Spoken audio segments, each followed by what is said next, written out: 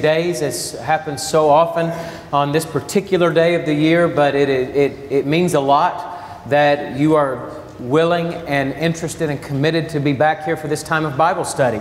And so I thank you very much for your willingness to be here with God's people tonight. Isn't it good to be with God's people anytime that we can be? Amen, Amen indeed. Beautiful time of singing, beautiful time of Bible study and prayer, strengthening up our bonds and our relationships, encouraging each other to good works in the kingdom of God. Did you bring your Bibles tonight? Let me see. Hold them up, please. Good. Uh, this is Q&A night. For those of you that are visiting, that's uh, pretty much what it sounds like. Uh, people, uh, our, our, members submit questions. FH uh, reminded us where those boxes are, so I'm, I'm glad. Thank you for doing that today. Uh, anytime you have a Bible-related question, um, whether that be about the text itself or perhaps an application of the text, uh, put them in. It'll give us a great time for some study uh, here on this third Sunday night of every month.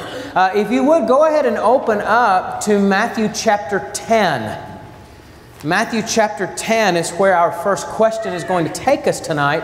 Um, I will tell you, I have three questions prepared. The last one that we're going to talk through is. Um, one I wanted to be able to spend a little bit more time on because it, it does have a, a, little bit of a sensitive nature to it. Uh, but we'll begin here with this question tonight. In Matthew chapter 10, verse 23, what is the last sentence referring to when it says, Ye shall not have gone over the cities of Israel till the Son of Man be come?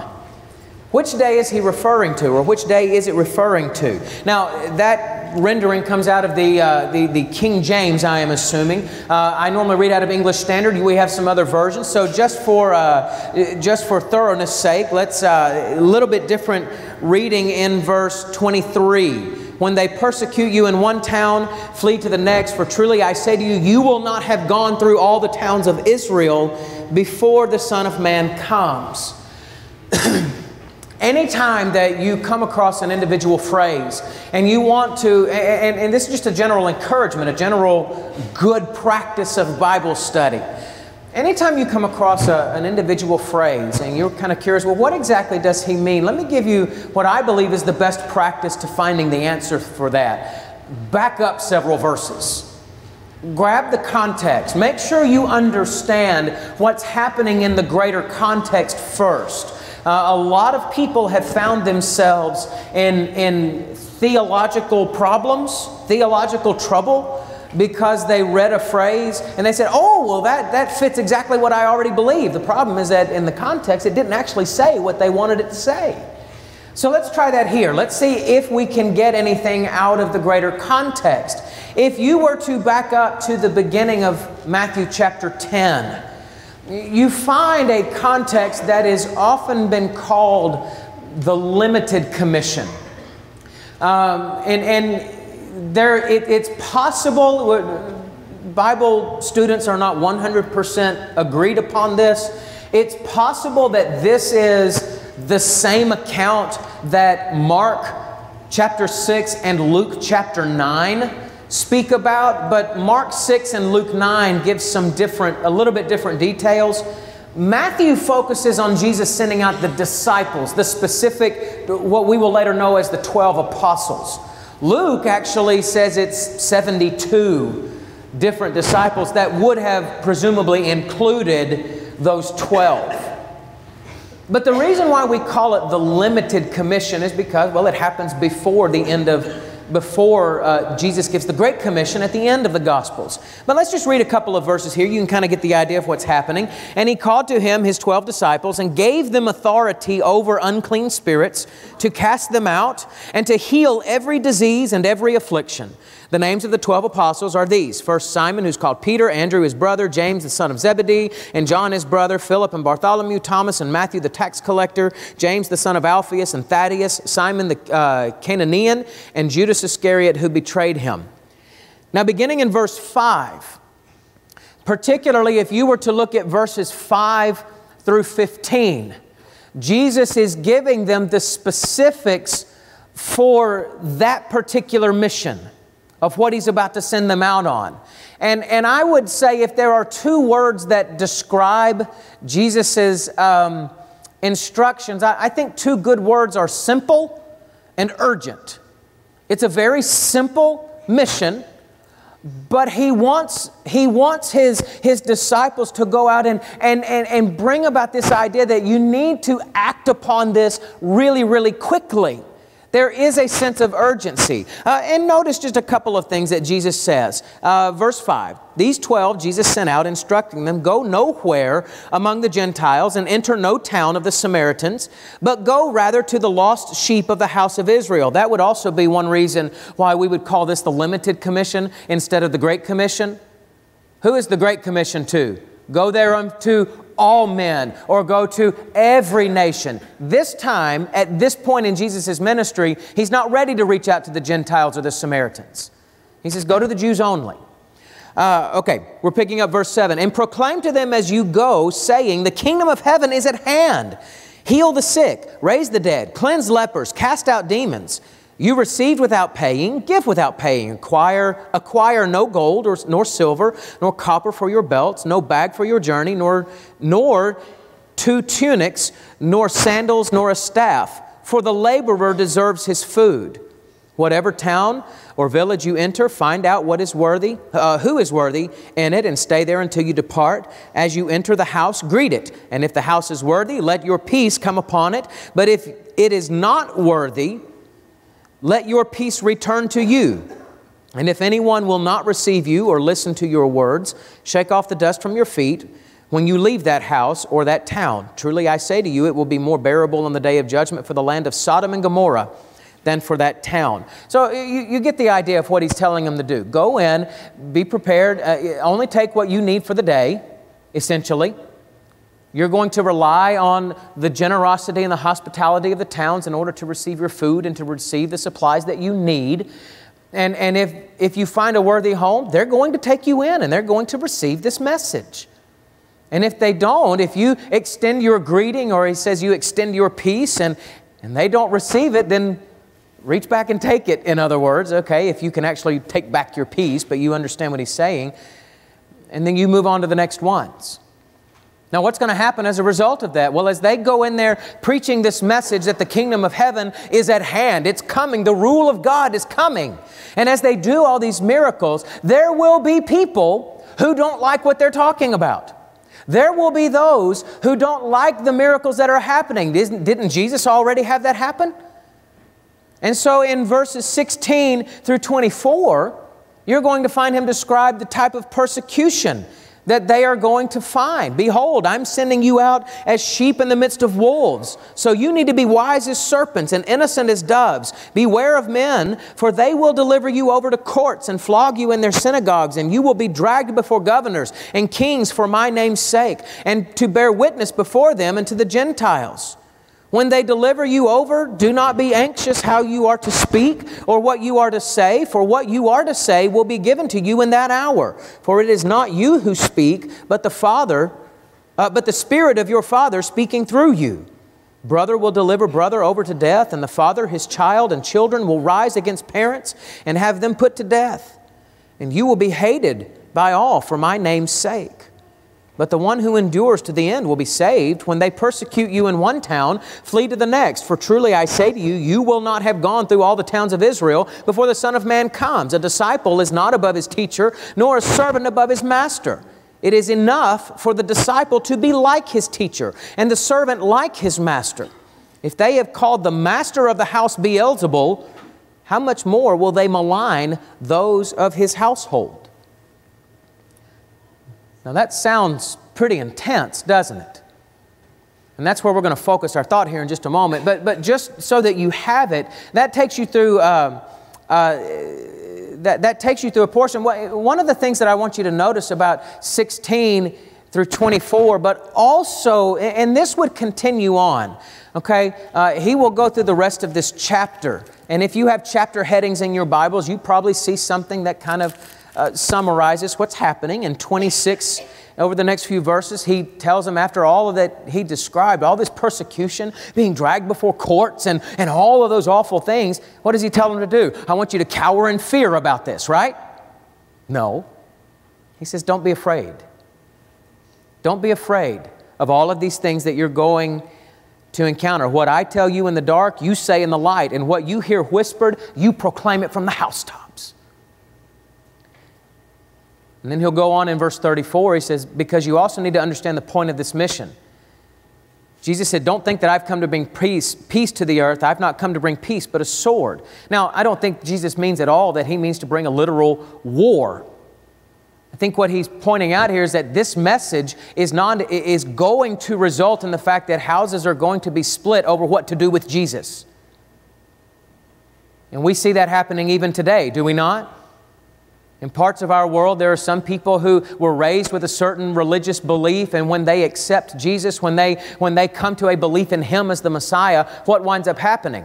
They get kicked out of their home. And on some level, you see that happen in our society, even here in the United States. You may find someone who, who comes to a belief in Jesus and they, uh, that they accept His grace through obedient faith. And then all of a sudden, everybody they hung out with all their life, all their family members, they're not able to be in that same crowd anymore because they don't fit in anymore. I think that's what Jesus means here. And then finally, he'll give in verses 40 through the, verse 40 through the end of the chapter the, the, the notion uh, of the reward that's coming. Whoever receives you receives me, and whoever receives me receives him who sent me. And the one who receives a prophet, because he is a prophet, will receive a prophet's reward. So, what's going on here then?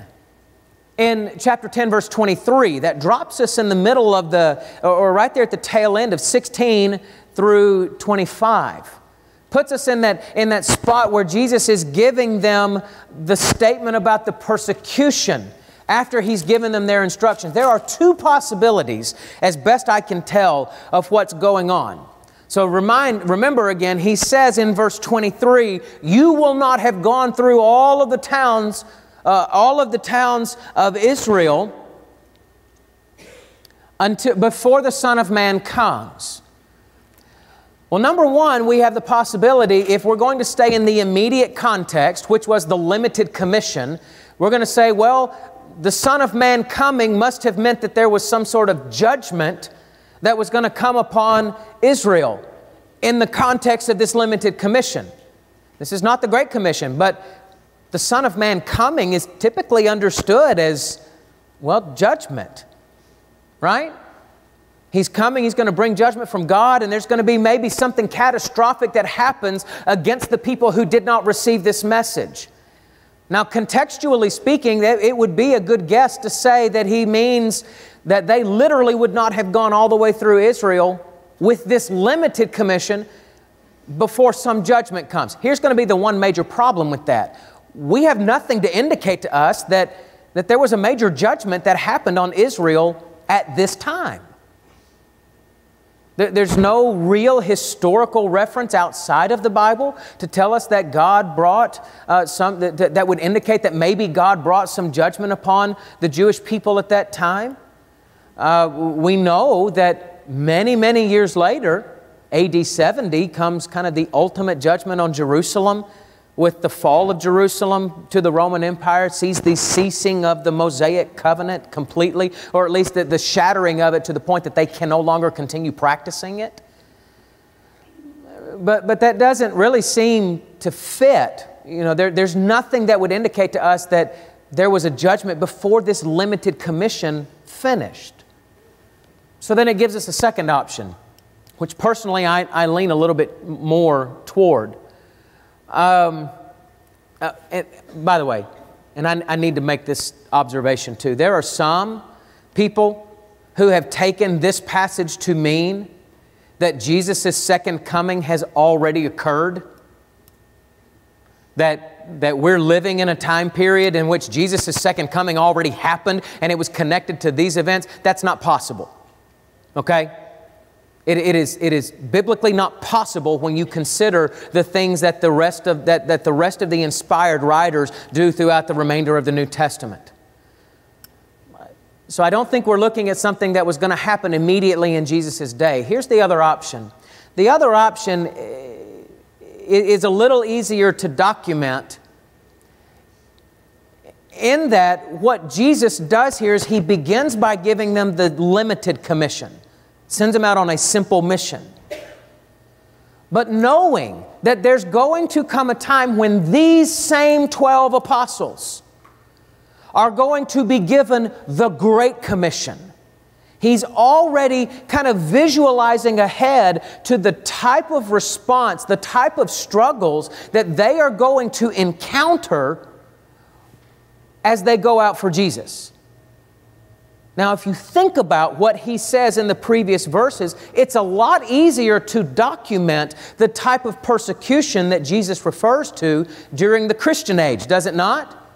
They are going to drag you before courts. Uh, let's see, where was it? Uh, verse 17. They will deliver you over to courts, flog you in their synagogues. You will be dragged before governors and kings for my name's sake to bear witness for, before them and to the Gentiles, except you're going to bear witness to the Gentiles, but what did he just get through telling them not to go do? Don't go to the Gentiles.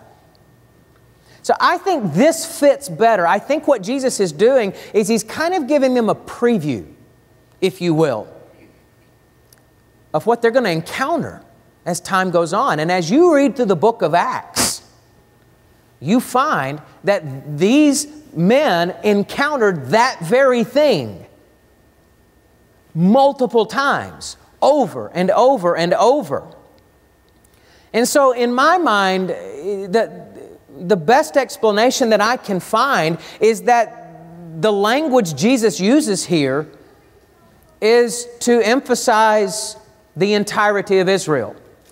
When he says, You will not have gone to all of the towns of Israel, I think he means you will not have seen all of Israel converted before that final judgment comes. That's my take. Let me read you what one commentator said. In this context of, of post resurrection ministry, however, it is better viewed as a reference to the perpetually incomplete Jewish mission in keeping with Matthew's emphasis on Israel's stubbornness. Christ will return before his followers have fully evangelized the Jews, but they must keep at it throughout the entire church age. In my mind, that fits better. That all the towns is language Jesus is using for post resurrection ministry and whether or not the entirety of the Jewish people would have been evangelized with the gospel. That's the best I know what to do with it. Uh, it's an interesting question what exactly he means by that because we don't have much more beyond that. But anyway, I'm, I'm going to go with that. I'm going to say that that's probably the best possible explanation for Matthew 10, verse 23. Second question is this How were you to know who was a true prophet and who was a false prophet, as most of the prophecies were fulfilled many years after, uh, were many years off to be fulfilled? In 1 Kings 13, we read of a prophet who was tricked by another prophet. Should he believe the old prophet and return, or accuse him of being a false prophet and not go with him? So I, I actually got a little tickled when I pulled this question out because the second time I've gotten a question about this specific text in just a handful of months. So it, it's one of those where this is a story that really bothers people. Uh, if you would turn to 1 Kings chapter 13 real quick. And we'll, we'll take, a, we'll, we'll take a, a quick look at this. Uh, the, the, the story is, I, I won't take the time to read it, but the story is during the time of the divided kingdom, northern kingdom, southern kingdom, northern kingdom has wandered away from God. They've gone into that apostasy. And their kings keep perpetuating that idea. So God sends a prophet from the southern kingdom up to the king of, the nor- of, of Israel to tell him about all the evil that's happening. He gave this prophet very specific instructions. You go up there, you deliver the message, you come back. You don't stop along the way, you don't get a bite to eat, you don't pass go and collect $200. You keep moving. However, there was a prophet in Israel, in the northern kingdom, who found out this guy had come along. And he says, Oh my goodness, well, I need him to come with me. And so the older prophet goes to this young man, says, I'm a prophet of God too. And God said, You need to come spend the night with me and come share a meal with me. And the young man believed him, even though the old prophet was lying through his teeth. As a result, after they had shared the meal, God did bring a word to the older prophet that said, you're, to the younger one, you're not going to die. And as he leaves, he is, as he's trying to leave the town, a lion comes out, strikes the younger prophet dead, doesn't maul his body, just strikes him dead. And the older prophet is forced to send his sons, and they go and they have to bury this young man's body. Well, it's a difficult one to try to figure out what, what are you supposed to do with that? You know, I mean, we're, we're supposed to be able to trust our elders, right? We're supposed, when somebody comes to me and says, I'm also a preacher or I'm also a Christian, I'm supposed to be able to, to trust them in that. So, what, what was this guy supposed to do? How was he supposed to know that he was a false prophet? One of the things that, for this story, for this account I, that I think is worth noting, we need to remember in this account we need to remember that the young prophet's divine commission was to communicate God's absolute, utter disdain for the actions of Jeroboam, the king of Israel. And he was also tasked with the job of uttering God's absolute judgment upon these actions. And this is why God expressly told him, do not stop. Do not stop to share a meal with anybody. Just go up, do your work, and come back. Because in that culture, and, and in many ways it holds over to ours as well, in that culture, when you stayed to share a meal, it was the act of embracing someone. And if you accepted someone's hospitality, that conveyed the idea, I accept what you're doing. I think a better question might be to ask, why was this older prophet of Yahweh still living in an area that had been so overcome by idolatry? Why had he not taken the hint that God was clearly beginning to give through other prophets? And so the, the, the, young prophet's own conduct was to symbolize the Lord's total rejection of Israel's false worship. That's what his conduct, that's what his actions were supposed to do. And it was supposed to symbolize the recognition that all the people in Israel had been considered as becoming apostates. And so he should have remained true to his mission, even even though this other prophet tried to get him to turn aside, because this younger prophet should have understood the point of the instructions. And by disobeying God's specific instructions, he, he, completely muddies the water of the message God wanted these people to understand. So, how was he supposed to know the true or false prophets? Did you know God actually gave people instructions about that? Turn to Deuteronomy chapter 13. In Deuteronomy chapter 13, as Moses is giving his final set of instructions to the people of Israel before his death, he actually discusses this very thing. Deuteronomy chapter 13, verses 1 through 5. If a prophet or a dreamer of dreams arises among you and gives you a sign or a wonder, and the sign or wonder that he tells you comes to pass, as if he and if he says let us go after to other gods which you have not known and let us serve them you shall not listen to the words of that prophet or that dreamer of dreams for the lord your god is testing you to know whether you love the Lord your God with all of your heart and with all of your soul. You shall walk after the Lord your God and fear him and keep his commandments and obey his voice. And you shall serve him and hold fast to him. But that prophet or that dreamer of dreams shall be put to death because he has, he has taught rebellion against the Lord your God who brought you out of, the out of the land of Egypt and redeemed you, by, redeemed you out of the house of slavery to make you leave the way in which the Lord your God commanded you to walk. So you shall purge the evil from your midst. Here's what I want you to understand or here's what I want you to, to, get out of that. Moses told the people that here's how you understand if a man is a false prophet or not. Number one, you check his accuracy. If his prophecy comes true, then that's a really good indication that he's a legitimate prophet. The next part, though, is this Does his teaching fit with what God has already revealed?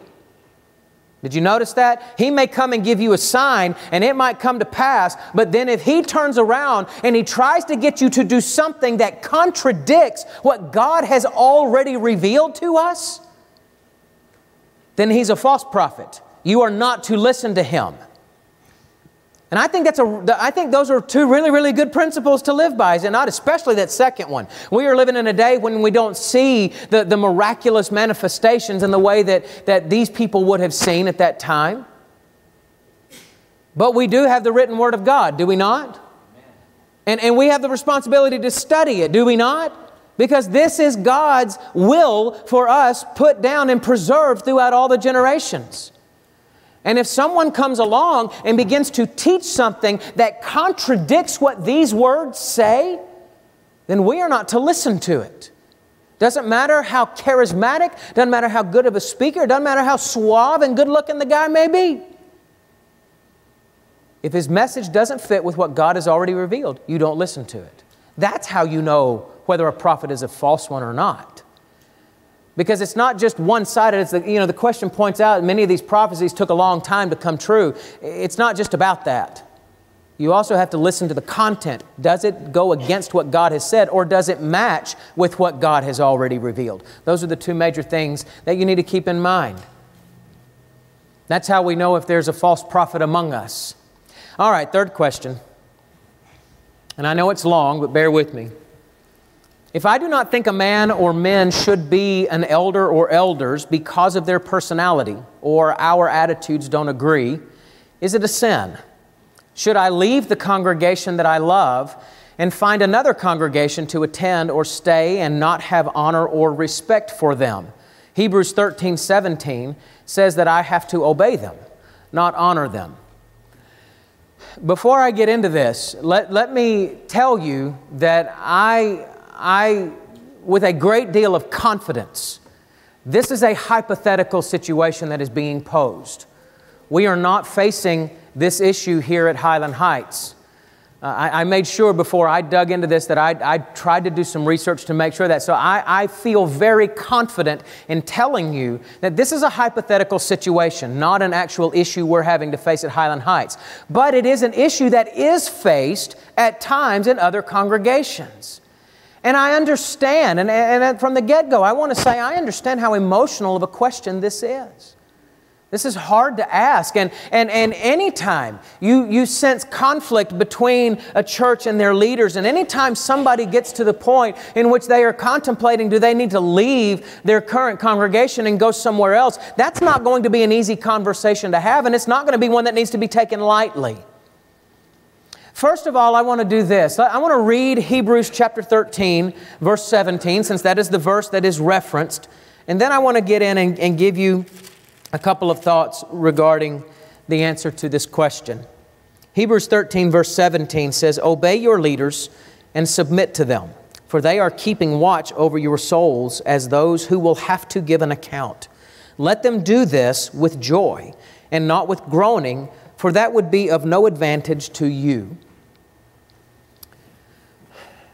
So, how do we answer this? First of all, let me say this Is it a sin to have personality clashes? No. It is not a sin to have personality clashes. God created us human beings with different personalities, and He did it for a reason. Personality brings color and excitement and variety to our relationships, does it not? I mean, let's really think about it. Would you really like it if everybody had the exact same personality you have? I, I know I wouldn't like it if they all had the same personality you have. I'm, I'm kidding. I mean, my, I, I, wouldn't like it if they all had my same personality. It, it brings excitement and variety to our lives. Um, and frankly, because there is such diversity of personality in humanity, I, I think it would be foolish and naive of us to think that everyone is going to get along perfectly all of the time. It's just not going to happen. With that fact, though, one of the things that is so beautiful about the Lord's church is that we are supposed to be a body of believers who are able, who are capable of overcoming those personality clashes. we are able to get beyond those and, and still work together in spite of our personality differences. That's one of the beauties of the Lord's church. Now, let's ask this question Could personality clashes morph into sinful situations? Yes. Here's how. If we allow conflict to go unresolved, it could turn into a situation in where sin is committed. Now, folks, I'm going to tell you this. I, love, I was born in the South, right? I love the fact that I was born in the South. I love the, the principles and I love the things that are associated with being born in the South. That hospitality, that yes ma'am, no ma'am, all of that wonderful politeness. I love that about my upbringing. But folks, God bless us. Sometimes it feels like our Southern hospitality is killing us. And here's what I mean. I think sometimes that Southern hospitality is killing us because we don't want to cause trouble or we don't want to hurt someone's feelings or for whatever reason, too many Christians today are living in situations in which they refuse to actually go and deal with the conflict. We leave it alone and we just don't, we don't address it. Or we come over here and we talk to somebody else who's going to side with us and we address it that way instead of going to the other person or we ignore it and hope that it just goes away. And what happens is, is a lot of our conflicts wind up stewing and festering and creating more hard feelings toward the person that we're in conflict with. But the Bible speaks often and clearly about how to deal with interpersonal conflict. Now, I'm going to go rapid fire with this, so if you want to just write these down and go look at them on your own, you can do that. But I want you to just listen to a handful of verses a handful of passages that, that the, uh, of God speaking to Christians about how to deal with interpersonal conflict. Matthew chapter 5, verses 23 and 24. So if you are offering your gift at the altar and there remember that your brother has something against you, leave your gift there before the altar and go. First, be reconciled to your brother and then come offer your gift. Matthew chapter 6, verses 14 and 15. For if you forgive others their trespasses, your heavenly Father will forgive you. But if you do not forgive others' trespasses, neither will your father, neither will your Father forgive your trespasses. James chapter 5 verse 9. Do not grumble against one another, brothers, so that you may not be judged. Behold, the judge is standing at the door. 1 Peter chapter 4 verse 8 above all keep loving one another earnestly since love covers a multitude of sins Colossians 3 12 through 13. Put on then, as God's chosen ones, holy and beloved, compassionate hearts, kindness, humility, meekness, and patience, bearing with one another, and if one has a complaint against another, forgiving each other. As the Lord has forgiven you, so you also must forgive. Romans chapter 12, verse 18. If possible, so far as it depends on you, live peaceably with others, or with all. Romans 15, 5 and 6. May the God of endurance and encouragement grant you to live in such harmony with one another, in accord with Christ Jesus, that together you may with one voice glorify the God and Father of our Lord Jesus Christ. And finally, 2 Corinthians chapter 13, verse 11. Finally, brothers, rejoice, aim for restoration, comfort one another, agree with one another, live in peace, and the God of love and peace will be with you. Here's the point I want you to take from all of that the biblical instruction is clear. The Christian's goal when we encounter interpersonal conflict is to actively seek reconciliation, especially if we find ourselves in conflict with a fellow Christian. If you or I have conflict with someone else, we have a responsibility to go to them face to face and genuinely try to fix the problem and figure out how to work toward how to work together peaceably. And we've got to learn how to deal with conflict, church. We've got to learn how to deal with it quickly and directly because this is one of the biggest potential barriers to the unity of God's people. So if somebody were to come to me, again, I told you this is a hypothetical situation. I feel confident about that. But if somebody were to come to me in real life having to deal with this problem, these are a few things that I would, I would want to ask them or have them ask themselves. Number one, what's really at the heart of your disagreement with these leaders? Is, what, is it really a personality conflict, or, or is it possible that maybe sometime along the way you got your feelings hurt and that was never actually resolved? Or is there some other conflict that was never properly resolved that has festered over time to create a, a, an ongoing tension? I would ask this question does this, does this elder or minister or other member, does this person even know that you are upset and feel this way? Or are they completely in the dark because you've never gone to talk to them? Have you done everything within your power to resolve the conflict, especially including face to face conversations? And I think one of the harder questions to ask is this What do you really want to see happen here? Do you genuinely want to get along with and respect this brother? Or are you looking for a reason to stay upset at him? Many times that's the way we're operating. We just don't want to admit that out loud. And by the way, along those lines, let me, let me add this. If the issue that we have with somebody if the conflict that we have with somebody else is not severe enough that I am willing to go and readily talk to them about it, if I'm not going to go talk to them about it, then I need to learn to let go of it if it's not severe enough to warrant a face to face conversation. Uh, because, number one, it's not fair to them to hold it over their head when I'm not willing to talk about it. And number two, it is not spiritual to hold bitterness because I refuse to do what's necessary to fix the relationship. Now, regarding Hebrews 13 17, which we read a minute ago, uh, the, the, the, statement is made in the question here that, you know, Hebrews 13 17 says that, that I have to obey them not honor them. To, to that thought, I, I want to say this I'm not completely sure. In fact, I feel pretty confident that that's not a fair treatment of this passage. To draw that kind of line between members and shepherds. That I have to obey, the Bible says I have to obey them, I don't have to respect them. I, I don't know that, that, I, that I can agree with that, with that assessment. And, and here's the reason why.